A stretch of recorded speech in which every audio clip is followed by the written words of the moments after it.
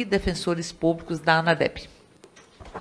É, boa tarde a todas e todos. Queria primeiramente cumprimentar a deputada Érica Cocai, autora desse requerimento é, de uma audiência pública tão importante em um momento tão triste e tão difícil que vivemos aqui no Brasil, um momento de ataques ao serviço público e tem, temos que nos perguntar todos os dias a quem interessa enfraquecer o serviço público no Brasil.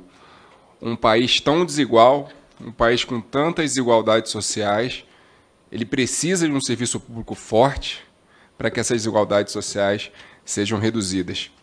É, e eu falo em, em, nome de 6 mil defensores e defensores públicos do Brasil e atuamos é, na proteção, na tentativa de proteção é, de direitos das pessoas em situações de vulnerabilidade, muitas delas sociais, econômicas, e a gente percebe que esse enfraquecimento das instituições aumenta, acirra ainda mais essa desigualdade no Brasil. E todo esse ataque, é, obviamente que não é um ataque não pensado, é um ataque planejado, ele gera riquezas e gera pobrezas. E o discurso é, de algum um discurso que se faz muito comum hoje do combate à violência, que eu acho que é um, eu acho que eu fico me perguntando quem é quem é a favor da violência. Acho que todo mundo é a favor da paz. Até aquela pessoa que está praticando violência, ela também, em algum momento, ela quer uma paz. É, mas a violência social, ela não se combate é, pura e simplesmente com medidas populistas como o endurecimento penal. Ela se combate muito com a redução da desigualdade social.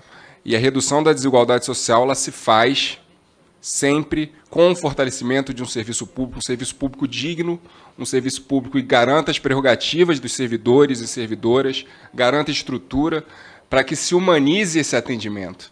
É, eu sou servidor público, eu adoro a minha profissão, amo ser defensor público, e eu vejo, às vezes, é, comecei na, na carreira num, numa estrutura extremamente precária.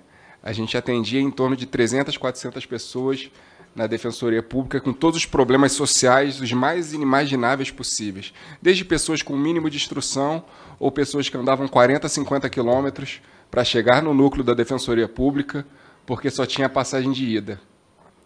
E essa estrutura, obviamente, ela me prejudica, porque a gente não consegue dar uma, o melhor atendimento possível, mesmo se sacrificando, mas, acima de tudo, prejudica a população que mais precisa e que merece um atendimento digno. Então a gente tem que ir à luta por todas e todas os servidores públicos e também por todas as pessoas que precisam do nosso serviço digno, serviço de qualidade. E o serviço público avançou muito nos últimos anos, mas vem tendo retrocessos. Esses retrocessos são graves. A gente vê a reforma da Previdência que é, a gente trabalhou muito junto ao Fonacat, com o Rodinei Marques, é, capitaneando todo esse trabalho.